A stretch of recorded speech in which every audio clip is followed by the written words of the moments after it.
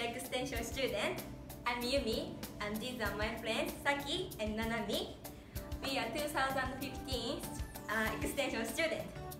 Today we talk about universities, colleges, and high school in America. So, do you want to make new friends in America? Yes! Me too! In this semester, we visited 10 universities, colleges, and high schools. If you like watching sport games like me, you can enjoy them in some universities. For example, basketball game, volleyball game, and so on.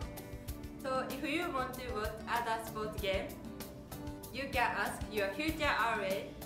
Actually, we could watch ice hockey game during this semester. If you like talking, like me, you can talk with students, not only Americans, but also students from all over the world. So we had a big presentation in this semester. So we spoke our topics for them. And also we could meet the students who are studying Japanese. So we taught Japanese culture and Japanese language. And if you like taking a school tour, you can enjoy tour with American students. And in this semester, we dance Japanese traditional dancing, Soran Bushi. And American students also dance the American traditional dancing. And you will have temple again. Yay! That's it.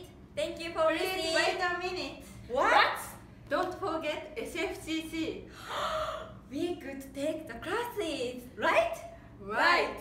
I took class. I took American history class. I took drama class. It was very exciting for us. Yes. So by the way, do you guys contact with students you met there even now? Yes, of course. I'm so happy to keep in touch with them now. So don't be afraid to make new friends. And be active to learn about American culture in extension program. So you, You can do it. Thank you for listening.